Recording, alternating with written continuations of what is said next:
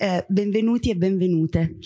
Benvenuta soprattutto a, a Monica Perosino, che conoscete, è una ottima collega giornalista della stampa, siamo, siamo colleghe, io mi chiamo Simonetta Scendivasci, sono anch'io una giornalista della stampa da, da meno tempo di Monica.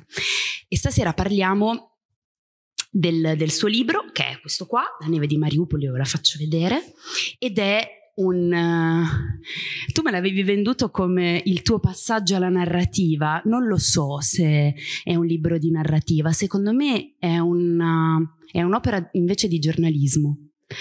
Ehm, di un racconto diverso della guerra. Monica, lo sapete, l'avrete seguita, ne ha scritto anche molto per la stampa, è stata in Ucraina, era in Ucraina quando, prima ancora che la guerra cominciasse, ed era in Ucraina quando la guerra è cominciata, anche se tutti non ci credevano. Lei lo racconta bene in questo libro, quel momento preciso lì. Ora, delle tante cose che ci diremo stasera, peraltro vi invitiamo a, a intervenire prima, dopo, durante, non, non temiamo le interruzioni. Uh, delle tante cose che ci diremo, uh, quello che io vorrei dire in premessa è, sono il paio di cose che um, mi hanno molto colpita di questo libro. La prima è che mi ha immediatamente fatto pensare a Parla una donna, che è un libro di Matilde Serao. Io sono pazza di Matilde Serao, è un mio grande, un mio grande amore, ehm, perché in quel libro Matilde Serao racconta, racconta la guerra e, ed è quella che secondo me è una delle prime a raccontare la prima guerra mondiale, un po' come hai fatto tu Monica, cioè raccontando che cosa succede tra le persone allontanandosi un po' dal racconto geopolitico, dal racconto dei fatti, ma raccontando come i fatti si insinuano nelle famiglie, nelle case. Ehm, e poi c'è un altro fatto importante di questo libro che mi ha fatto ricordare che all'inizio la guerra in Ucraina ci ha posto una domanda importante perché è stata quel fatto importante e lo è ancora secondo me, e cioè chi siamo, che cos'è l'Occidente. Credo che eh, tra le tante cose che ci sono in ballo in questo conflitto che è una guerra mondiale, secondo me Papa Francesco ha ragione quando la definisce la terza guerra mondiale, um, è un conflitto che ci costringe a fare i conti con, uh, con quello che è l'Occidente, con tutto quello che dell'Occidente abbiamo messo in crisi e lo fa perché, ve lo ricorderete senz'altro, nelle prime settimane di quel conflitto una cosa è stata certa, e cioè che l'Europa era qualcosa di forte. Certo, è in, crisi, questa guerra non ha risolto, diciamo, eh, pur avendo rafforzato quell'idea, avendoci ricordato quanto è importante l'Europa e quanto è importante l'Occidente, non ha risolto poi, diciamo, le sue, non ha riempito le sue crepe. E però ce lo, ha, ce lo ha messo davanti, che quella cosa esisteva, che forse l'Europa e più in generale l'Occidente potevano arginare, possono, questo te lo chiedo immediatamente, forse possono essere un freno a quello che succede. E finisco, ti metto qui tutte queste cose sconnesse, soprattutto se parliamo di Occidente, guardando a quella guerra, Monica, il punto è che cosa ne è della Russia? Noi ci possiamo pensare, perché questo c'è tanto in questo libro, qui c'è, c'è Monica che, che, cammina per strada, che parla con le persone, che parla soprattutto con le donne ehm, e si chiede che fine ha fatto la Russia che mi ha cresciuta, la, la Russia che ho amato, che ho conosciuto dai libri. Ecco, quella Russia lì, possiamo pensare che nel nuovo Occidente che dovremo costruire, dovremo ideare, è qualcosa di cui possiamo fare a meno? Ciao. Ciao. Buonasera a tutti.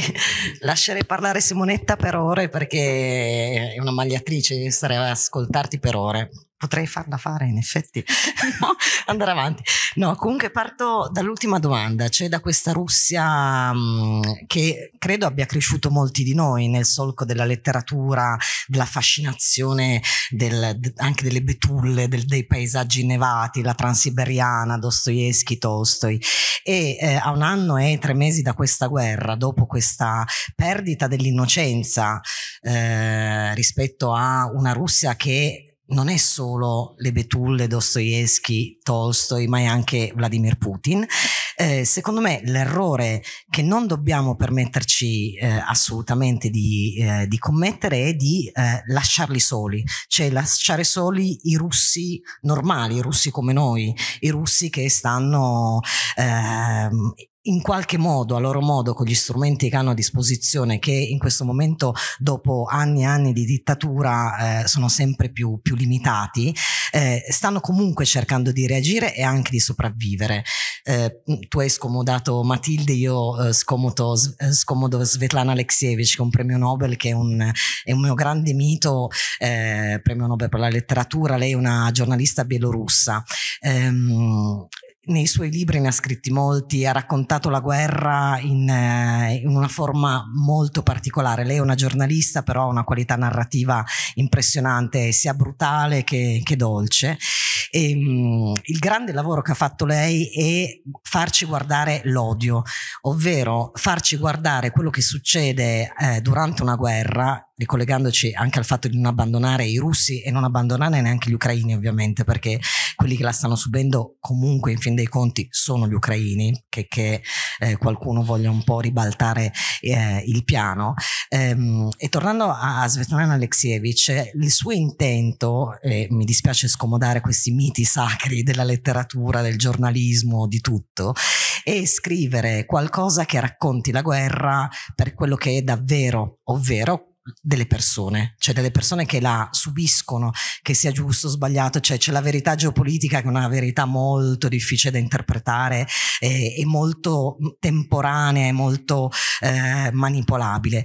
La verità vera, quella che è solida, quella che non si può assolutamente ignorare è che ci sono persone che soffrono de- un dolore anche intellettuale, anche culturale, non solo fisico, indicibile.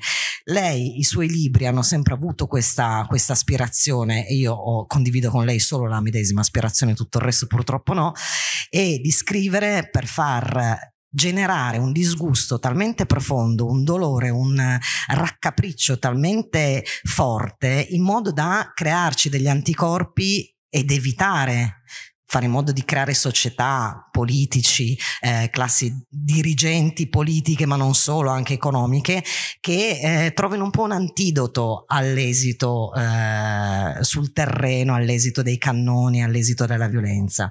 Perché probabilmente quello che manca soprattutto a noi che abbiamo vissuto in tempo di super pace, di super benessere, dico super proprio perché è anche sopra, e la guerra l'abbiamo conosciuta attraverso magari i ricordi dei nonni, di chi ha combattuto sulle montagne, eh, di chi invece l'ha subita come, come civile, ehm, abbiamo un po' perso il senso di cosa vuol dire essere dentro una guerra ed è pericolosissimo perché siamo ormai quasi, la guardiamo quasi alla televisione, vediamo questi spot, dico spot era un lapsus ma non lo è proprio, di 5 minuti, di, anzi 3 minuti in cui si vedono delle azioni molto scenografiche, eh, adrenaliniche, gente che spara, gente che magari piange, feriti, molto veloce eccetera. La guerra è esattamente il contrario, è di una lentezza inesorabile, il terrore, la paura è lentissima, scava nel profondo, non è uno scoppio, è una roba roba che ti, che ti, consuma e consuma milioni di persone quotidianamente. Noi abbiamo la fortuna di andarci in Ucraina per coprire la guerra, ma anche di poter tornare. Invece, dopo un anno eh, ci sono 40 perso- milioni di persone che sono bloccate lì. E poi un'altra preoccupazione è raccontare queste cose al di fuori perché noi stiamo creando una generazione di persone, 40 milioni di ucraini e non so quanti milioni di russi accecati dall'odio perché le guerre provocano questa cosa qua, l'odio più profondo. Non ho risposto neanche a una. Non ti preoccupare, ma io non ti ho fatto nessuna domanda. Noi mettiamo qui delle cose. Allora, visto che hai citato... No? No. Uh, scusi, alle casse, DJ, può alzare un po'? Perché eh, in terza fila non si sa. Proviamo così? Così? Sente? Ok, allora era colpa mia che non tenevo vicino il microfono, ci starò più attento. Grazie. Allora, visto che citavi la Alexievich, io tu la, la metti in esergo i libri quando sono precisi hanno sempre la nota in esergo che è giusta e io ve la, ve la, leggo. Sono stata definita scrittrice delle catastrofi, ma non è vero. Io cerco continuamente parole d'amore. L'odio non ci salverà, solo l'amore è la mia speranza.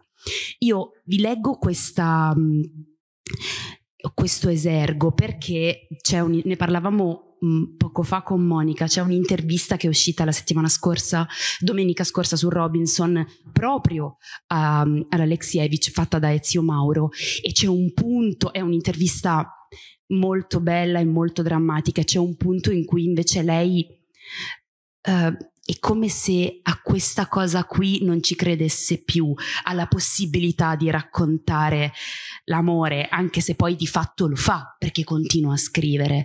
Um, però dice che davvero in Russia esiste un odio profondo è quello che dicevi tu, così come esiste in Ucraina è forse il punto del mondo di domani che dobbiamo porci, tu lo dicevi perfettamente è questa eredità qui, cioè che siamo, eh, si sta creando un mondo dove ci saranno 44 milioni di persone, ma molte di più, che provano un odio indelebile.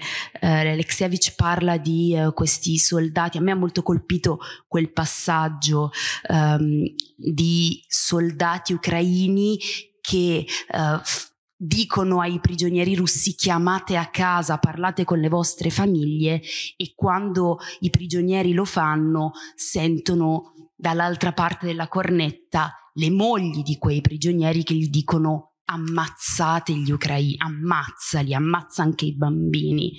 Ecco, questa cosa io non so come la potremo risolvere, però eh, mi serve per farti questa domanda, Monica, perché nel, il tuo libro è pieno di calore. Uh, questo non lo so che cosa ci dice della speranza sulla, sulla natura umana, però di certo è un libro pieno di persone che continuano a volersi bene, che continuano a voler bene a te, che ti offrono il tè, che ti offrono i pasticcini.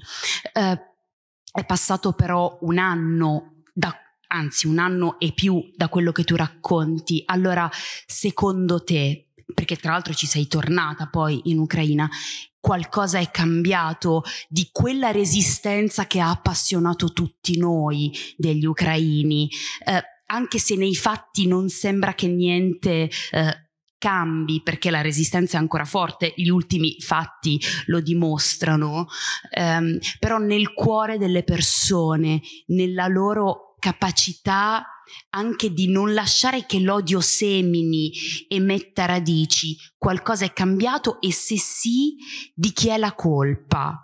O forse colpa è una parola sbagliata, però forse invece di responsabilità noi sul nostro divano occidentale dovremmo parlare.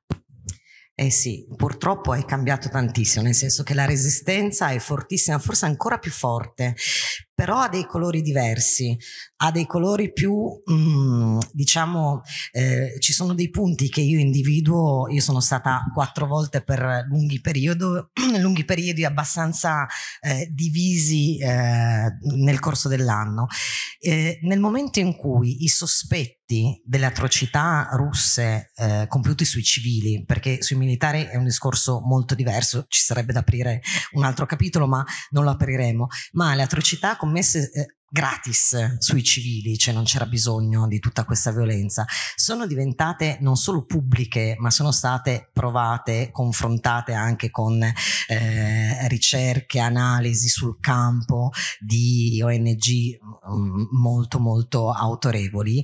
Um, I sospetti degli ucraini, anche quelli che non le hanno subite direttamente, perché una parte dell'Ucraina per fortuna è stata risparmiata dalla testimonianza diretta, a parte delle bombe dei missili, però la parte più occidentale non ha avuto l'occupazione, per esempio, quindi non hanno sperimentato direttamente cosa vuol dire l'occupazione. Ma quando casi come Bucha, Zaporizhia, eh, Izium, eh, Chernihiv, le fosse comuni, eh, gli stupri sistematici, strategici, ordinati, nel senso, eh, o perlomeno eh, passati sotto mh, mm, eh, un occhio chiuso di qualche comandante, però diventano sistemici come arma eh, su un, su, un, territorio, eh, non possiamo neanche Mm, arrabbiarci con gli ucraini se questo, questa resistenza si è trasformata da una resistenza di cuore, di mh, mh, più orgoglio che odio, in una resistenza di odio cieco. Cioè adesso che eh, sono venute fuori tutte queste, queste, cose e tutti lo sanno e sanno cosa è successo eh, e diciamo c'è sempre il calore ma c'è la differenza chiara fra buoni e cattivi. E un altro passo che a me ha molto colpito ancora più negativo è che ehm, è passato troppo tempo per scusare i parenti russi, gli amici russi, i russi che stanno al di là del confine, perché loro dicono dopo un anno va bene che voi siete eh, in una dittatura, quindi non arrivate a conoscere la realtà dei fatti, però continuate a negare cose innegabili, quindi avete colpa anche voi. Purtroppo il, il passaggio, cioè indietro non si torna da, questa, mm, da questo cambiamento radicale, profondo degli ucraini e come dargli torto, cioè come, come non, non essere empatici anche con questa reazione. Infatti, tornando al discorso di quello che possiamo fare noi, invece di replicare anche in Italia, per esempio, con tifo da stadio e mh, mm, posizioni, secondo me, indifendibili, eh, no, alcune posizioni che io sento, ma che poi arrivano alle persone. Per esempio, un nostro tipografo l'altro giorno è venuto a dirmi: Ah, però io do ragione a Orsini, meglio un bambino mh, mm, sotto le bombe, eh, meglio un bambino sotto le bombe che un bambino morto. No, cioè, meglio un bambino sotto la dittatura che un bambino morto, meglio un bambino sotto le bombe che un bambino morto. Ehm, la cosa che a me ha colpito eh, in maniera molto forte è che chi ha eh, sperimentato una forma di dittatura è pronta a morire per non caderci di nuovo in mezzo. Quindi Tornando invece al, al, al, dibattito italiano che tira in ballo de, delle categorie valoriali completamente astoriche, atestimoniali, perché poi la maggior parte delle, delle persone che pontificano non, non, sono neanche andate un giorno a vedere quello che sta succedendo e che chiamano in causa altri temi che in questo caso comunque distolgono solo l'attenzione. Secondo me dovremmo riportare il dibattito su ehm, da una parte sulla realtà dei fatti e dall'altra com'è che siamo arrivati a questo punto. E come siamo arrivati a questo punto? Con indifferenza, perché eh, quelli che oggi salgono sugli scranni a dire e l'Iraq e l'Afghanistan e gli americani hanno ragione, gli americani ne hanno fatte di ogni. Ma come ci siamo arrivati? Dove erano quando noi raccontavamo queste cose e alcuni pote- magari protestavano, eh, si interessavano, mh, mm, parlavano di questo oppure no?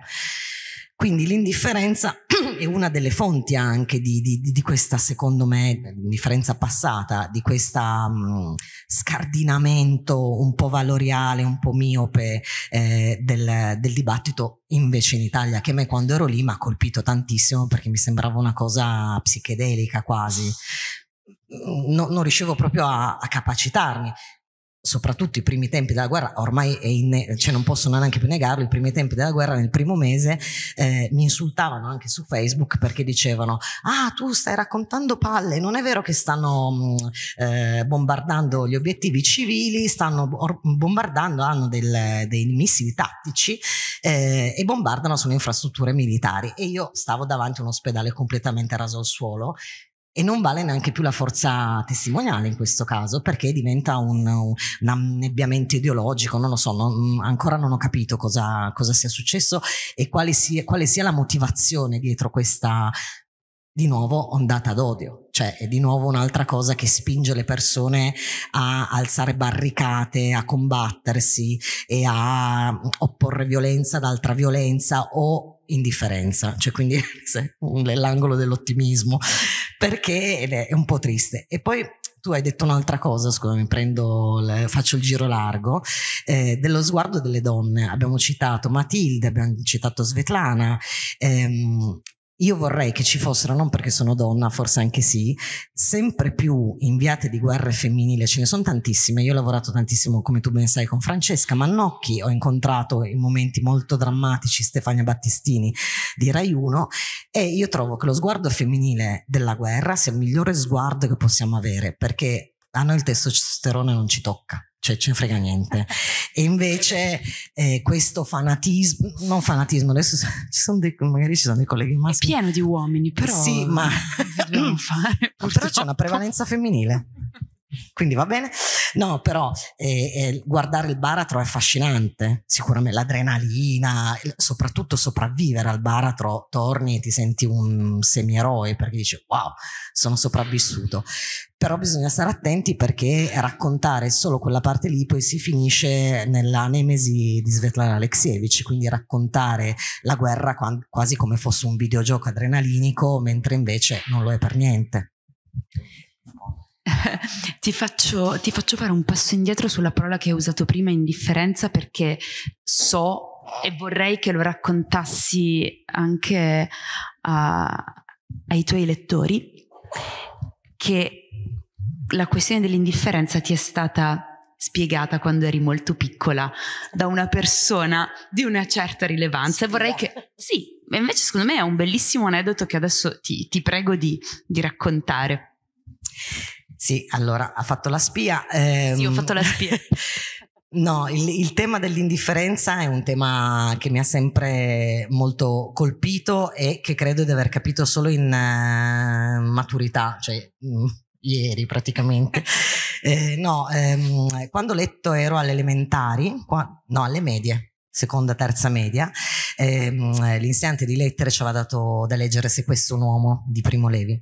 L'avevo letto e ho detto, ma com'è possibile? E la domanda comunque continua a non essere risposta neanche adesso. Com'è possibile che ci siano delle persone così cattive come i nazisti? Cioè, i nazisti sono proprio cattivi e quindi non ho trovato niente meglio da fare che scrivere a Primo Levi, che fra l'altro abitava a Torino, quindi ho guardato sul, sull'elenco telefonico e ho scritto caro Primo Levi, ho letto il tuo libro e questa non è una gran notizia. La gran notizia è che mi ha risposto, mi ha risposto il 25 aprile, fra l'altro, nell'ultimo anno di vita purtroppo, e, e la sua risposta che io ovviamente non avevo capito, l'ho capita poi dopo, infatti l'avevo messa da parte, ho detto mm, chissà cosa, che non mi ha veramente risposto, mi aspettavo una cosa un po' più da bambini. Sì, loro sono cattivi. No. La sua risposta, detta in sintesi, non la sua memoria purtroppo, era che in realtà non ci sono cattivi che nascono cattivi, ma ci sono indifferenti che permettono che la storia prenda una piega di questo genere. E questo tema dell'indifferenza, che è esattamente il contraltare più, più esplicito dell'impegno civile, ma anche solo di conoscenza, secondo me deve essere proprio un, un po' un faro che ci, che ci, guida. L'impegno non vuol dire che uno deve prendere, andare, che ne so io, a combattere, a fare il volontario, anche solo a leggere o a cercare di capire, a informarsi, a prendere anche una posizione, cioè a non rimanere inerme di fronte a quello che noi pensiamo sia un'ingiustizia giustizia. L'indifferenza è quello che anche ha portato a probabilmente a non considerare una situazione come quella fra Russia e Ucraina, che già dal 2014 eh, non, non, se la passano molto bene, eh, come potenzialmente esplosiva e come potenzialmente di eh, necessaria mh, mm, attenzione almeno. A me ha detto, vabbè, finché si ammazzano un po' sul, nel Donbass, tutto sommato magari possiamo contenerla così come esattamente sta succedendo a Gaza. A Gaza siamo un po' più attivi, un po' più presenti, un po' più mh, scandalizzati probabilmente, come sta succedendo in Sud Sudan, come sta succedendo per i Rohingya, cioè mantenere, non si può, non possiamo affliggerci ovviamente ogni giorno con tutte queste cose, se no diventiamo, eh, ci incartapecoriamo nel, nel, nel pessimismo e nella tristezza, però mantenere un po' la, la, la direzione del, della partecipazione almeno emotiva e intellettuale e di conoscenza rispetto a quello che, che, ci circonda, perché ormai sappiamo benissimo che la connessione, globalizzazione della geopolitica è talmente estrema che ci riguarda tutto e, e in, ogni, in, ogni, posto del mondo, quindi non possiamo far finta di niente. Uh, grazie. ehm, allora, mm, io non lo so se adesso ti faccio una domanda da, da, da, totale diciamo, ignorante. Io il tuo libro l'ho letto proprio da, da cittadina, quindi da lettrice di giornale. E mi sembra però di aver... E c'è una cosa che Anna Zafesova scrive nella, nella, nella prefazione, cioè dice Monica ha attraversato questo conflitto e parte, la parte dell'Ucraina che è riuscita a raggiungere eh, mettendosi di fianco a un popolo che ha un'identità in divenire. Perché questo è il punto vero e forse la cosa più forte, affascinante di questo libro e la cosa che coglie, che secondo me è fondamentale, è una delle cose fondamentali in questa guerra, cioè c'è un popolo che a un certo punto ha messo tra parentesi qualcosa che gli è stato imposto di essere e ha scelto di andare da un'altra parte. E questa è la punizione della Russia. Vediamo se, se io ho capito bene, no? Voi volete andare verso l'Occidente o volete andare verso un'identità che non è più quella della Russia del grande continente russo e quindi noi vi invadiamo perché siete nostri.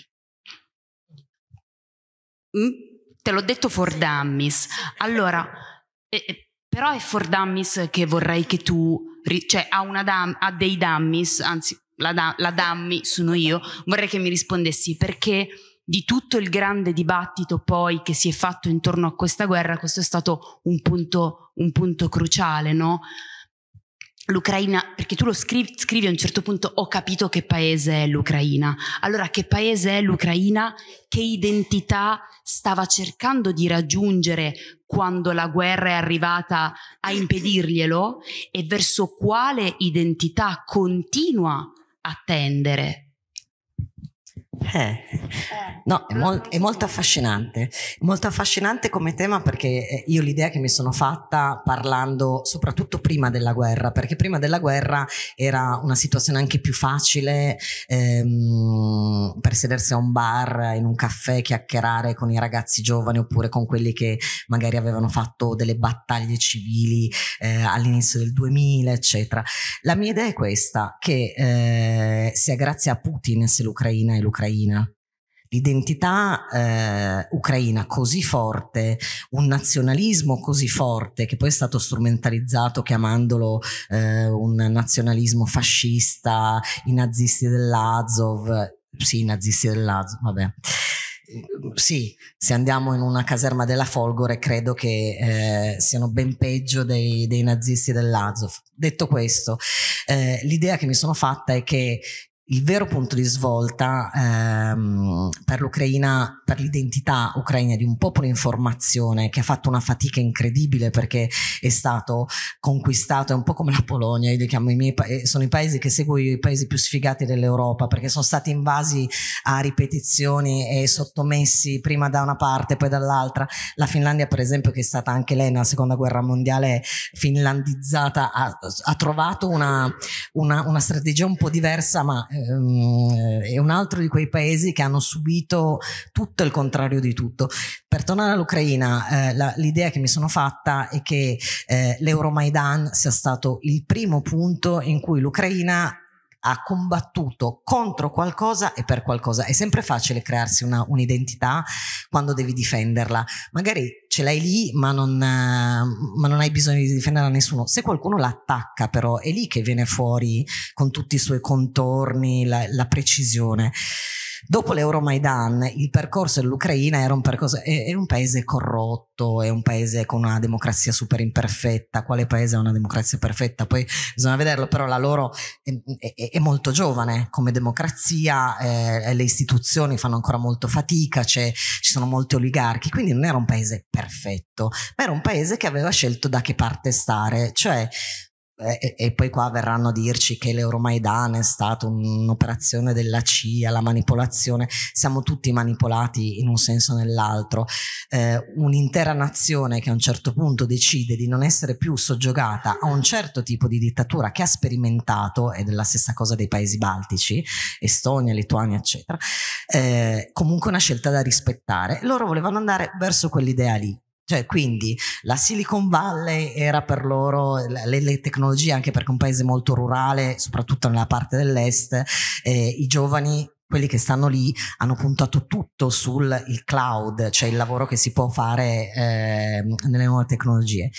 E quello puntavano. A un certo punto però secondo me non è proprio un, uno stimolo-reazione, visto che l'Ucraina vuole andare verso l'Europa, Putin la invade e se la vuole riportare indietro. Secondo me eh, quello che sta succedendo in Ucraina è uno scontro fra due imperialismi, uno un po' più soft, eh, meno, eh, uno che non usa le bombe in Ucraina diciamo e uno che le usa.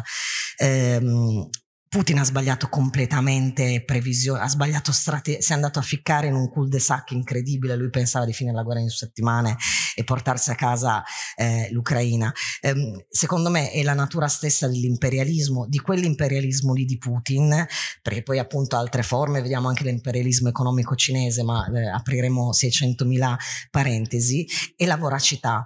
E come eh, l'imperialismo ha bisogno, lo spiega anche molto bene Vas- Vassili Grossman, che è un russo, quindi ehm, ha bisogno di territori o soldi da inglobare per sopravvivere, se non muore si atrofizza. La mia idea è che eh, la, la, guerra in Ucraina non sia che un proseguimento delle guerre in Cecenia e della guerra in Georgia, cioè Putin ha bisogno di prendersi altri pezzi di territorio perché sennò il suo imperialismo eh, muore. Poi magari ci sarà anche una componente ideologica, non, non, entro nella sua testa perché è un po' difficiletto. E il problema è che ha sbagliato completamente calcoli ed è questo il problema in cui ci ha ficcati anche perché lui pensava di risolverla in due settimane, siamo un anno e tre mesi. E, insomma, ha fatto un casino incredibile. Uh, visto che citi, fai queste citazioni altissime, esatto, però no, perché mi viene in mente ovviamente vita e destino, ma c'è una frase, tra l'altro me l'ero segnata, mm, che tu scrivi a un certo punto, dici, ho capito che la guerra può essere un destino, che è una frase com- complicata proprio da, da, da accettare e da assimilare. Che, vuol, che, cosa volevi dire? Perché la dici a un punto preciso del libro in cui racco- non ecco qua però.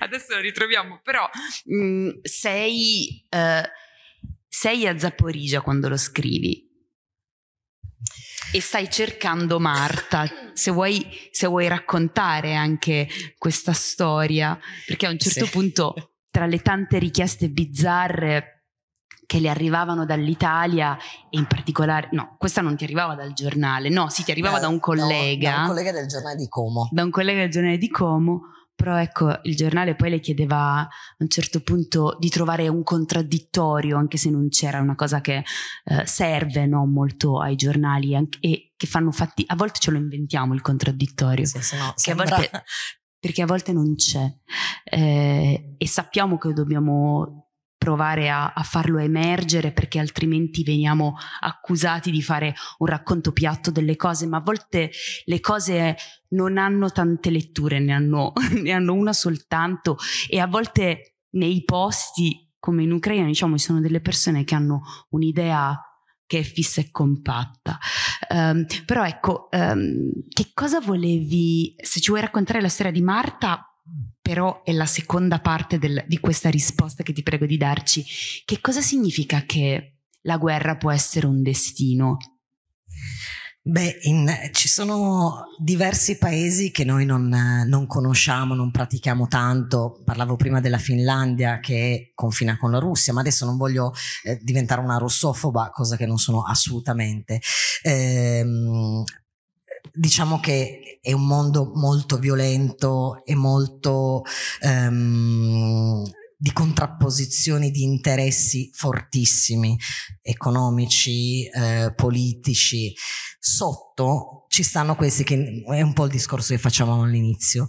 Eh, per alcune persone basta nascere in un posto particolarmente di frizione e chiaramente le famiglie che io ho frequentato soprattutto la parte dell'est dell'Ucraina, cioè quindi tutto il Donbass, eh, Zaporizia fa ancora parte un po' del, del centro-est, però per, è, è, una sorta di mezzaluna, eh, dove abitano praticamente solo famiglie russe russofone che parlano russo hanno altri parenti, hanno la maggior parte dei parenti in Russia, eccetera.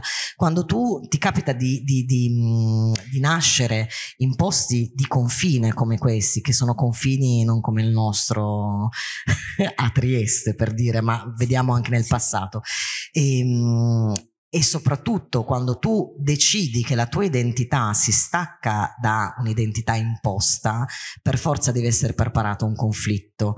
Quello che a me ha sorpreso tantissimo è che ehm, mi, mi, ha, mi, ha, fatto fare anche molte domande su me stessa, cioè quanto sarei io disposta a sacrificare o a rischiare la vita, eh, i parenti, gli affetti, il benessere per i miei principi, per i miei valori e per questo senso di magari imposto, magari finto, però quello che, in cui io credo, cioè il voler essere libero.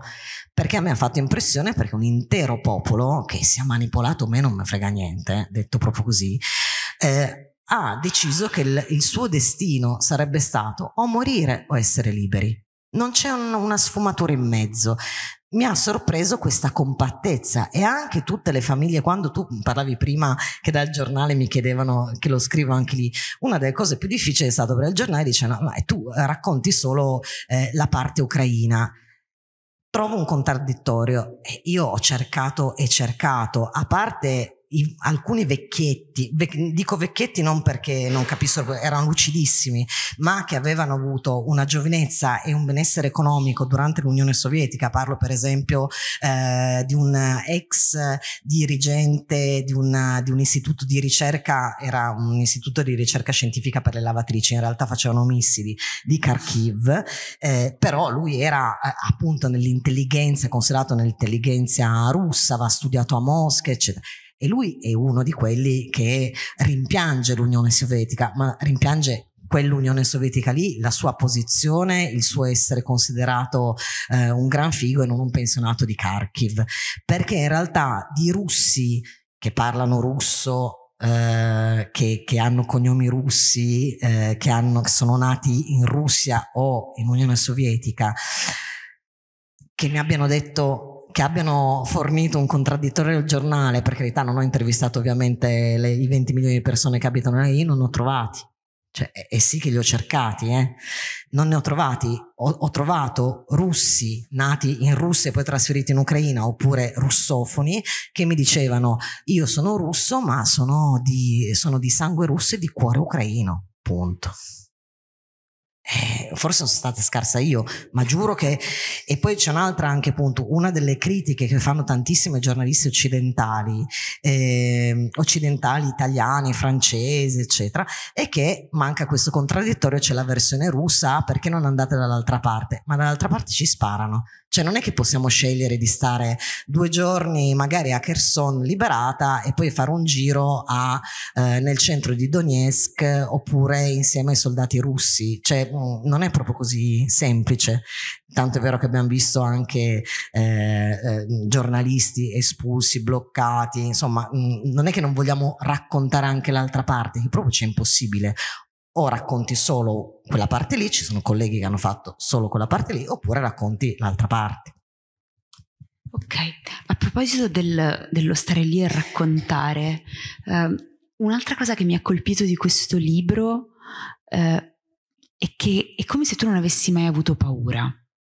Cioè, hai raccontato che cos'è la paura in guerra, ma di fondo è come se tu non ne avessi provata, non lo so, è una domanda, te lo, te lo chiedo, eh, perché in tutto questo libro, in tutte le storie, in tutti gli incontri che racconti, è come se tu sia stata, dimmi se mi sbaglio, difesa dalle persone che hai incontrato. No, mi sbaglio, ma io sen- ho sentito questa rete intorno a te e mi sono detta che forse questa è una delle risposte a ho capito che cos'è l'Ucraina. E non lo so se dipende dal fatto che vedevano in te, tu lo, lo scrivi a un certo punto, una persona che doveva raccontare quello che stava succedendo, che è una cosa ovviamente ovvia, logica, immagino succeda eh, in tutte le guerre. Non lo so se però è così, sì, ovvia, ma non lo so quanto automatica. Di, No, infatti, allora c'era una rete di protezione e di solidarietà enorme mh, mm, e c'è stata proprio anche un'immediata riconoscenza che gli ucraini ci hanno riconosciuto, credo per la prima volta in tutta la mia carriera, di fare un lavoro utile. Loro si sono sentiti dimenticati dal 2014, tanto è vero che in effetti il fatto di avere qualcuno che raccontasse anche le loro storie, quello che stava succedendo, ci hanno trattato come se quasi, come se fossimo quasi degli eroi, perché loro sapevano benissimo che noi lì non avevamo nulla da guadagnare, nel senso non è che dovevamo di- difendere le nostre case e quindi noi in quello sono stati sempre molto solidali. Negli ultimi tempi le cose sono un po' cambiate perché sono stanchi e sono anche molto paranoici perché sono arrivati tantissimi sabotatori, tantissimi infiltrati, ormai la situazione è veramente tesissima e tantissimo odio da una parte e dall'altra dopo un po' ti obnubila anche, però continuano a essere, cioè a me hanno nutrito l'ultima volta che sono andata a febbraio, eh, sono andata a Kreminna che sta dietro Bakhmut a Yampil e a Bakhmut e le signore che vivono in metà casa ancora erano lì, questo non c'è nel libro perché purtroppo è uscito prima, le signore novantenni, le mie babushke che vivono in metà casa ma ti danno i biscottini Maria i biscottini Maria li devi assolutamente mangiare. Tu dici scusi, ma mi tenga lei che magari ha fame. No, no, no, no, no assolutamente. C'è questo senso di collettività, di, di relazioni sociali eh, molto forti eh, nelle parti del, dell'Ucraina di cui sto parlando. Non sono le grandi città, sono le parti più rurali, quindi la, la cultura contadina del, eh, della solidarietà reciproca, dell'aiutarsi è fortissima. E poi sulla paura, io credo solo di avere un... sono una maniaca del controllo e quindi no, nel senso che eh, mi sono resa conto di aver paura eh, eh, sentendo i battiti del cuore perché accelerano, però poi alla fine è anche un po' il fatalismo che ti prende, quello che viene anche a loro cioè eh, ritornando tante volte l'ultima a febbraio eh, vedi che all'inizio quando ti scoppia qualcosa vicino fai così e adesso no, parli tranquillamente, ti, ti, ma non è eroismo, coraggio, è proprio il senso di adattamento del corpo che probabilmente si abitua a capire che non può stare in allerta 24 ore su 24 per settimane se non muori, quindi probabilmente è una reazione fisica normale. Ok, um, allora un'altra cosa che mi, mi interessa, visto che tu hai parlato con tantissime persone, è il nostro lavoro. Uh, poi tu parli con pure con i muri, quindi perché è così, Monica, è così. e, ehm, è questa, se in queste conversazioni con loro sei riuscita a capire cosa immaginano dell'Occidente e dell'Europa a cui ambiscono, uh, non ricordo quanto tempo fa, ma qualche mese fa, io avevo letto un pezzettino bellissimo di Adriano Sofri sul foglio che diceva, che insomma è uno che le guerre le ha raccontate, le ha viste, e diceva quello che noi siamo, noi europei, noi occidentali, forse non lo capiamo più ed è di certo qualcosa a cui peraltro abbiamo cominciato a disaffezionarci, ma guardando gli ucraini forse possiamo, e guardando il desiderio degli ucraini, forse possiamo capire chi potremmo diventare, cioè in fondo quello a cui ambiscono loro è il meglio che noi possiamo diventare, che non siamo, che abbiamo smesso di essere.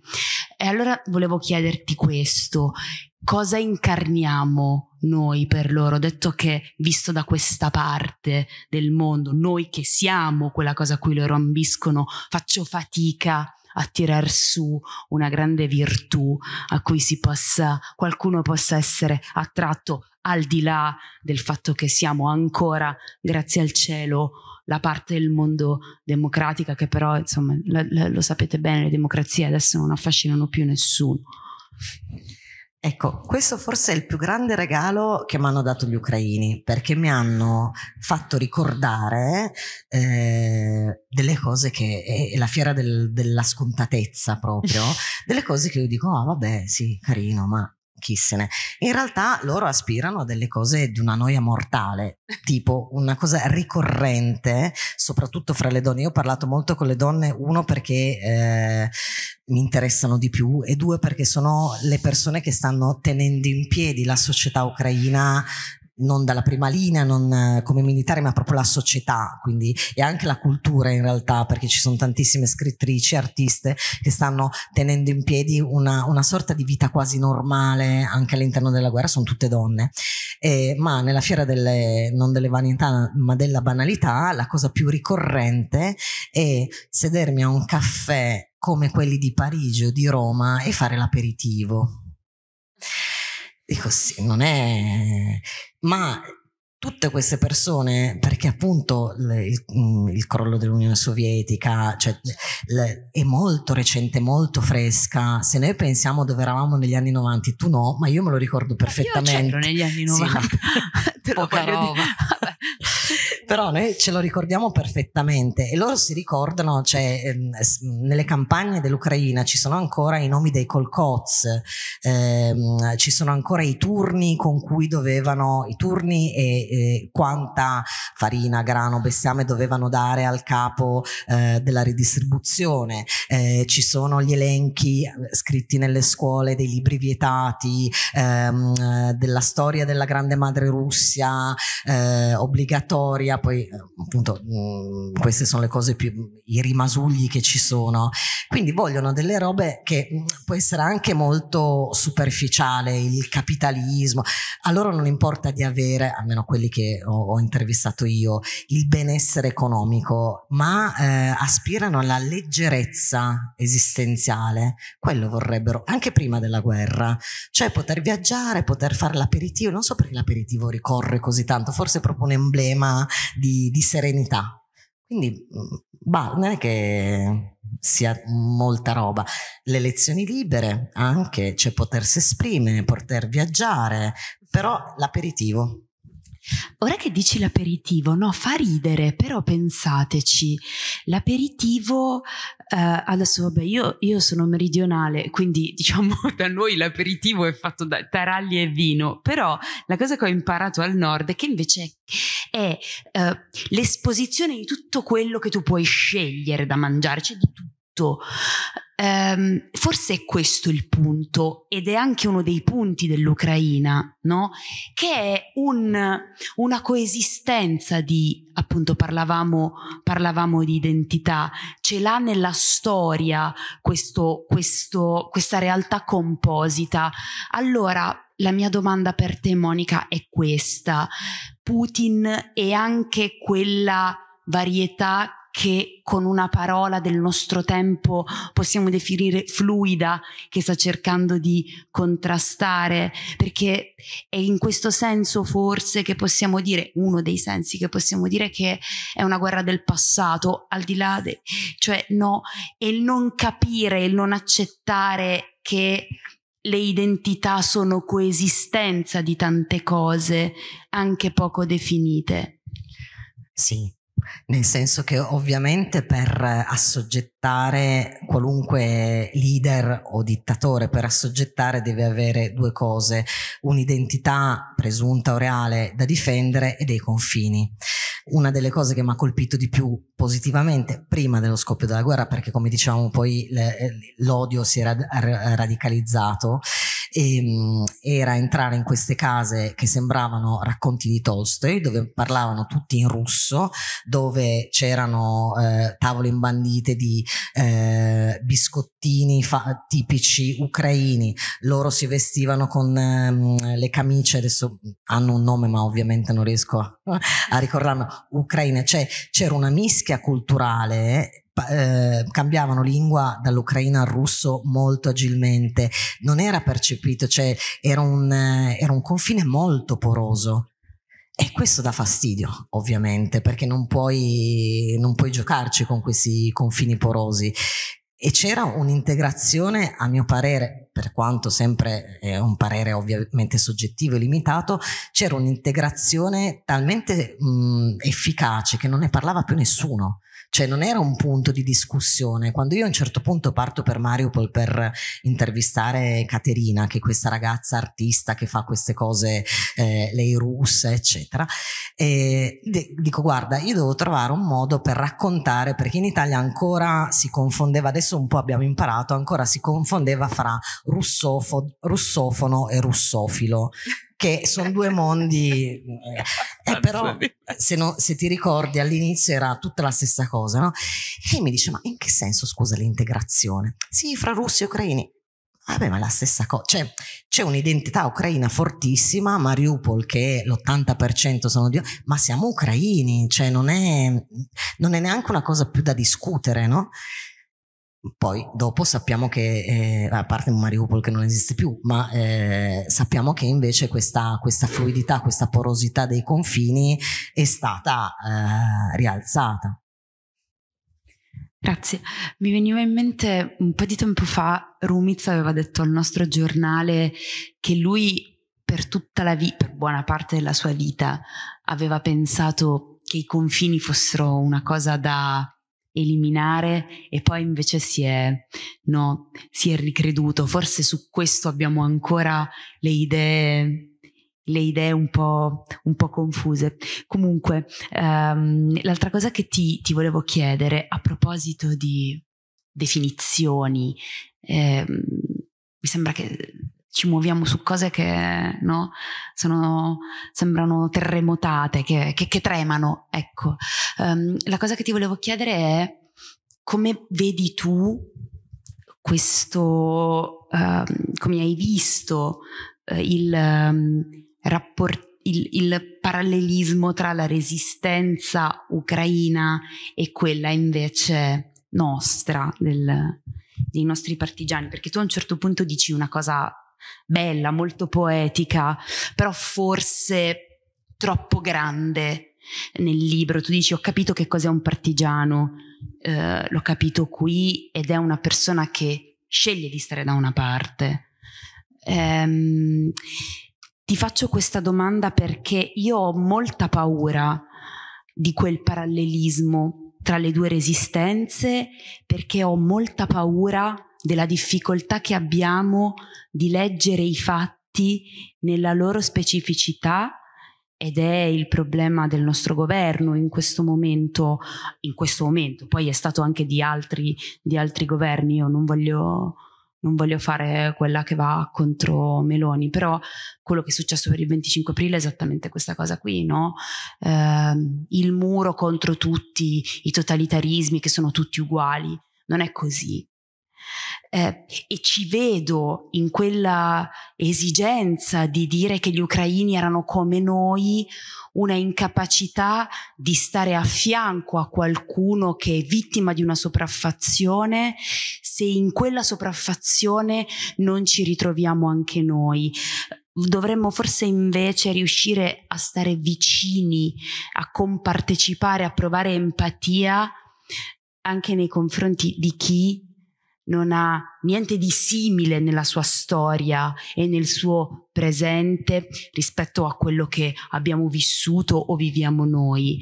Ehm, e questo, questo lo dico anche perché quando è arrivata la guerra in Ucraina ci siamo, ci siamo detti che ah, è tornata la guerra cioè la guerra entra nelle nostre vite, ma invece di guerre ce ne sono continuamente, solo che sono molto più lontane ed effettivamente non ci permettono di fare paralleli con il nostro passato. Sì, questi sono due temi scivolosissimi. Beh, intanto io sto qua per metterti in difficoltà. Grazie. Chiedimi una tabellina del 7. eh beh, dopo no. te la chiedo. No, eh, parlando intanto delle guerre vicino, io speravo, e la, la speranza è andata subito nel cestino, che eh, parlare di questa guerra, non voglio sembrare una vetero niente, però forse lo sono, eh, avrebbe permesso un'apertura di un dibattito serio sulla guerra, eh, su, conf- sui conflitti ehm, e avrebbe permesso, grazie alla identificazione di colore perché noi eh, siamo molto più vicini agli ucraini perché sono identici a noi sono bianchi, molto più biondi a volte, hanno una vita molto simile alla, alla nostra, le loro, loro, case sono identiche, guardano gli stessi film, molti ucraini vivono in Italia, quindi eh, tutti noi conosciamo direttamente e indirettamente qualche ucraino.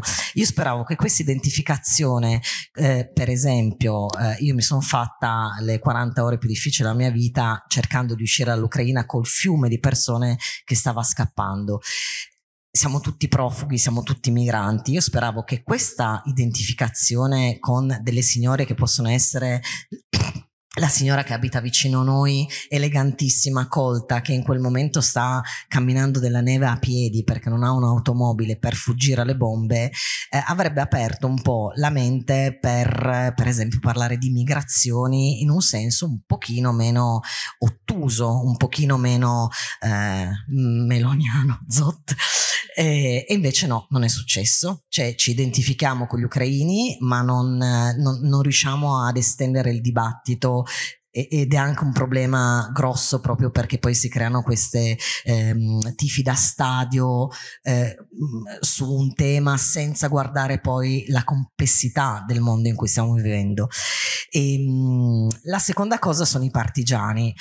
Eh, ci sono state, l'avrete forse seguite, io le ho seguite particolarmente perché per me i partigiani sono degli eroi e quando l'Ampi ha iniziato a fare delle differenze dicendo però i partigiani italiani sono differenti dai partigiani ucraini, un po' mi è crepato qualcosa nel cuore perché eh, secondo me eh, mm, tu volevi tirarmi su un ragionamento intelligente, io invece vado per la semplificazione. Eh, secondo me alla fine io ho visto delle persone normali, che potremmo essere noi, ehm, che imbracciano per la prima volta un'arma, chissà se noi faremmo la stessa cosa se succedesse una cosa simile anche a noi. Questa è una delle grandi domande che continua a portarmi dietro e a un certo punto scelgono da che parte stare. Stanno contro Putin, l'invasore, l'oppressore, eccetera. Il fatto che il partigiano sia appannaggio solo mh, di eh, una fede politica, io lo trovo ingiusto. Certo. Se sei un, una vittima di un'invasione e ti stai difendendo per guadagnare la tua vita, per come la vuoi tu, se tu decidi, un, un popolo decide che da lunedì vogliono vestirsi tutti con il tutù rosa perché gli piace, oh, li vogliamo far mettere il tutù o dobbiamo imporgli il pantalone a zampa? Che ne so io.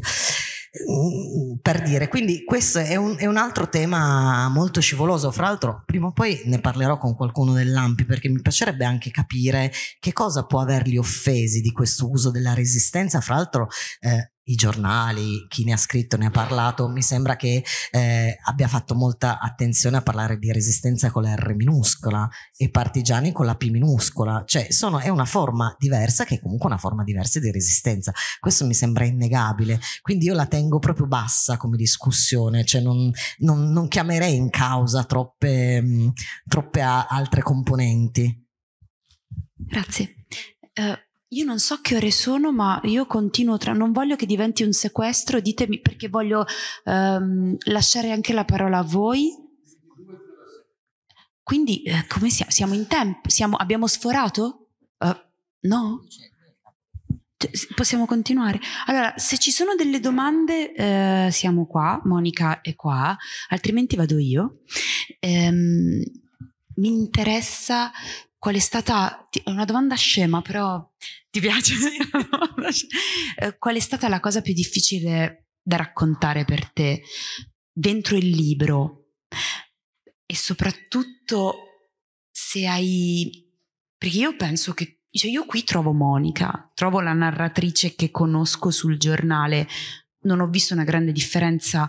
Ho usato la parola narratrice e non giornalista perché secondo me eh, io non penso che il giornalismo non abbia a che fare con la letteratura, ma penso che soprattutto per le cose che racconti tu, non solo per le cose che racconti tu, ma soprattutto eh, ci sia bisogno di unire le due, le due discipline, chiamiamole così, forse sono due parole incongrue, ma è una parola incongrua, ma non è importante.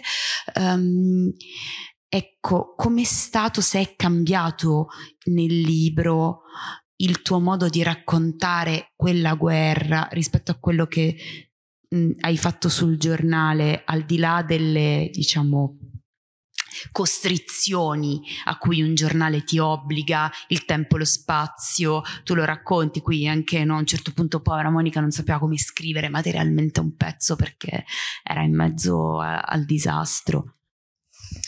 Ma allora spero che lo stile sia un po' migliore dei pezzi buttati giù, perché poi appunto la difficoltà, c'è cioè una difficoltà emotiva molto, mm, molto tangibile nello scrivere di una guerra per un giornale, che uno non ci pensa mai, ma tu ti svegli al mattino, a parte con l'ansia di essere ancora viva e ringrazio il giorno che sei ancora viva e nella notte non è crollato tutto, ma no, hai l'ansia di dire e oggi cosa racconto, dove vado, devi uscire compatibilmente con la situazione, con la contingenza e poi devi raccontare con ritmi molto serrati eh, una storia al giorno per molti giorni di seguito. Quindi, quindi spero che lì eh, eh, sono cambiate fondamentalmente due cose. Uno che ho dato sfogo a quello che non potevo scrivere per motivi di spazio, ma soprattutto per motivi di decenza eh, su un giornale.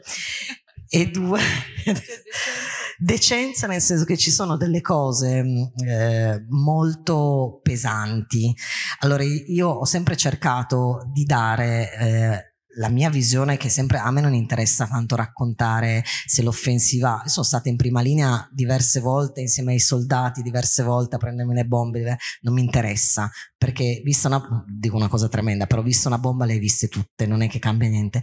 Quindi ehm, alcune cose eh, si ripetono abbastanza uguali. A me interessa raccontare le persone eh, per decenza perché mi hanno costretto a, fa- a farlo in prima persona secondo me il giornalista non deve mai mettere se stesso dentro i pezzi. Quindi io spero di aver sempre dato un, sul giornale una visione molto asettica, molto professionale di quello che stavo facendo e soprattutto non ho mai espresso giudizi. I giudizi sul, nonostante una delle cose più, più difficili nello scrivere è che sei arrabbiato dal mattino alla sera perché tu scrivi e dici no ma non è possibile. Io continuo ad avere a un anno e quattro mesi, dopo quattro volte diverse persone, l'elaborazione di tutto, eccetera, una rabbia per la totale irrazionalità che rappresenta una guerra. Continuo a non, non accettarla sta cosa, non, non, riesco, posso capire tutto da un punto di vista razionale, però poi arrivo a un punto e dico eh no, non è possibile. La cosa più difficile da raccontare sono stati dei dettagli eh, perché mh, mm, è un romanzo, ma eh, noi non siamo capaci di inventarci niente, quindi dei dettagli su delle... Mh, mm, in realtà non delle cose eh, violente, cioè, eh, abbiamo visto di tutto, ovviamente potete immaginare cosa si vede in una guerra che viene combattuta come una guerra, una prima guerra mondiale, perché sembra, poi appunto sembra tutto molto asettico, non lo è, puzza da morire, eh, c'è sangue ovunque, però la cosa che eh, ho fatto più fatica a raccontare e che nel libro sono riuscita a raccontare un po' meglio è il dolore perché eh, il dolore è eh, quello che accompagnerà me, che sono stata testimone, ma in una misura infinitesimalmente minore, eh, ma delle persone che hanno subito delle ingiustizie e che non hanno avuto neanche, è questo che mi fa rabbia, neanche l'onore delle armi, perché se tu combatti e muori combattendo, secondo me forse è più facile accettare la paura, quello che hai di fronte. Se tu sei solo vittima, nel senso che eh, a un certo punto parlo di questa ragazza, ovviamente ho cambiato i nomi perché non, non mi va di, di, di raccontare, è una, una, ragazza, una madre molto giovane che è stata stuprata ripetutamente dai eh, ceceni nel Kherson e l'ho raccontata per come me l'ha raccontata lei, mentre sul giornale e anche con le cose che mi ero tenuta per non affondare troppo, proprio per l'idea che uno dice se uno sceglie di leggere deve prendersi anche il coraggio di leggere fino in fondo e di prendersi tutto il marcio che vuol dire fare delle cose del genere. E quindi sì un po' di censura se n'è andata. E poi soprattutto ho raccontato le cavolate perché un'altra cosa eh, stavo per dire bella della guerra che c'è una cosa oltre alla solidarietà che ti rende sopportabile la guerra è che la vita continua. La vita, le risate credo di aver mangiato la miglior pizza degli ultimi dieci anni nel Donbass a Bakhmut quindi una pizza in un locale che si chiama Corleone. E poi tutte, sì, è, fanta- è, un posto fantastico, con eh, accanto i giornalisti del New York Times che passeggiavano col cappuccino, una cosa veramente pizza e cappuccino per dire che eh, nella tragicità della guerra, visto che l'ho dovuto raccontare in prima persona e visto che non ho paura come eh, di far vedere quanto siamo ridicoli anche noi giornalisti eh, di guerra che nelle trasmissioni televisive sembra sempre dei fighi, senza paura di niente, non è vero niente, facciamo delle cose che Fantozzi in confronto cioè, è un ingegnere e ehm, ridiamo anche molto e si ride anche molto con gli ucraini perché la vita va avanti, cioè la forza della vita è una roba eh, incredibile, mm, probabilmente mm, è stata un, una, una, grande esperienza per rivalutare, eh, mi, ha, mi, ha, fatto rivalutare la forza delle parole, cioè il peso delle parole che sono esplose e la forza degli aperitivi o delle pizze Corleone, una roba incredibile. No, c'è una parte infatti del libro in cui Monica... Grazie. Monica scrive che ci sono alcune parole che noi diamo per scontate e non solo, ma ci sono delle parole che sono abusate, hanno perso senso o peggio ancora, quando qualcuno le dice ci infastidiscono perché sono cariche di, uh, di retorica. Invece tu scrivi questa cosa che mi ha molto colpita, la guerra fa tornare alcune parole a essere scintillanti, come libertà, no? Giusto, ecco, è vero, la, la parola libertà noi così la, la, quasi ci dà fastidio, è uno dei problemi veri che delle democrazie, eh, esatto, sì. ma forse perché sembra quasi fallita, no?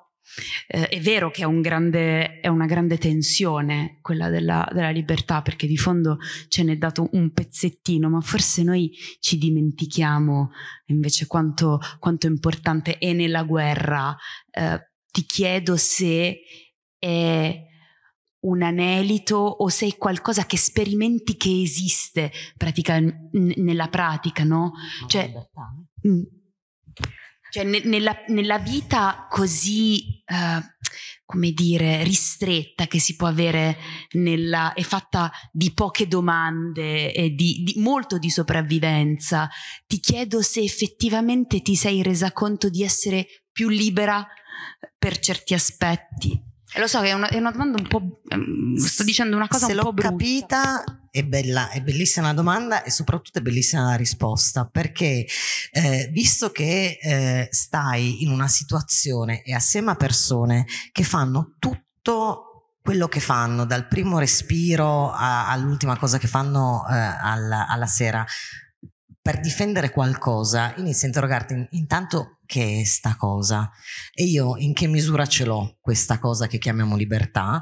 E a me viene da ridere, cioè viene da ridere perché sia quando ero lì che quando poi sono tornata, eh, se non fosse ovviamente la, la, butto lì come provocazione, eh, farei delle visite guidate di una settimana in Ucraina per tutti quanti per capire quanto accidenti è eh, meravigliosa la libertà, ma anche la libertà minima.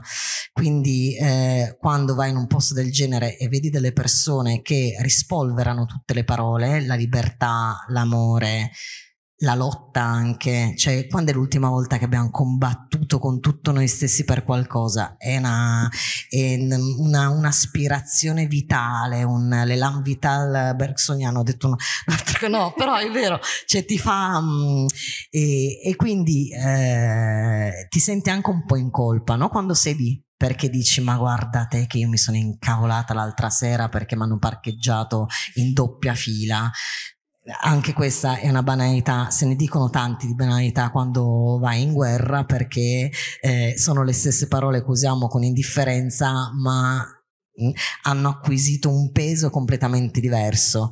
E quindi ehm, se questa libertà se quello che, per cui stanno combattendo gli ucraini a un certo punto arriverà, e questo vorrei anche dare una nota positiva a tutto quest'odio, sarà un successo, a tutto quest'odio eh, di cui stavamo parlando prima, sarà un successo e una conquista talmente enorme, talmente scintillante, che forse riuscirà a illuminare anche tutte le ombre che crea invece la violenza, perché è proprio... Mh, fortissima, è incredibile, è, è una, la senti anche da un punto di vista di energia nell'aria, adesso sembro il guru yoga, però è, è, permea tutte le azioni, tutti i corpi, tutti gli sguardi, ma delle persone più insospettabili. L'ultima, per esempio, che è stata bombardata due giorni fa, fra l'altro, la casa è crollata, era una signora che aveva un negozio di gomitoli che adesso fa la staffetta di, eh, uso un altro termine,